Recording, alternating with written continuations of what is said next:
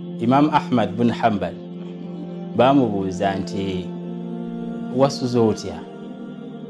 N'agamba nti kaifa asbaha man rabbuhu yutalibuhu biadai lfaraid olowooza yasuza atya era yabukeesezza atya?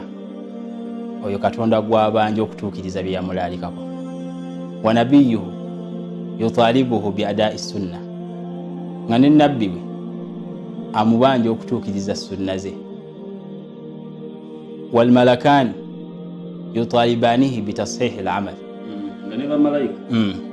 aba- abavunanyizibwa ku kuwandiika ebirungi n'ebibi bamugamba tereeza emirimu Allah. wa nafsuhu tutalibuhu bihawaha nga n'omwoyo mm.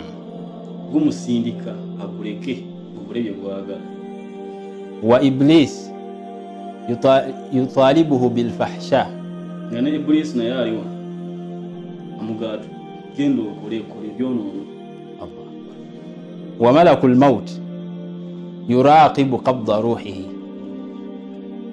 Nga ne malayika atwala emyoyo naye alindiridde akaseera agutwale then ekisembayo ndi wa iyaluhu yutalibunahu biad- bi- binafaqa nga n'abantu b'omu njuye bantu be balindiridde abaleetere ekyokulya byonna nga biri ku ggwe